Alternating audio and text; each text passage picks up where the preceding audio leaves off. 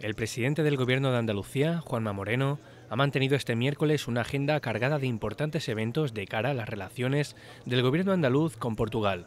En primer lugar, Moreno se ha reunido con el ministro de Economía y Transición Digital del Gobierno luso, Pedro Siza. Después ha inaugurado el primer foro empresarial Andalucía-Portugal 2020 y por último ha mantenido un encuentro con la ministra de Cohesión Territorial del país vecino, Ana Abrunosa.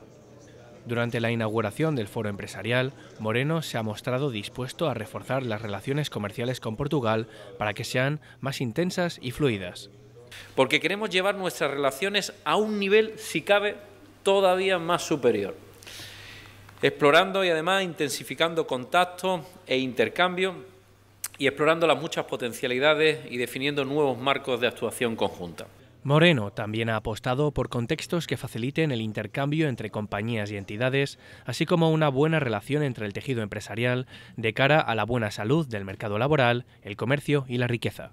Claro está, llegar más lejos es propiciar entornos y dinámicas empresariales que fomenten el intercambio empresarial y que generen sinergias provechosas para todos en términos de empleo, exportaciones e importaciones, competitividad y riqueza en suma.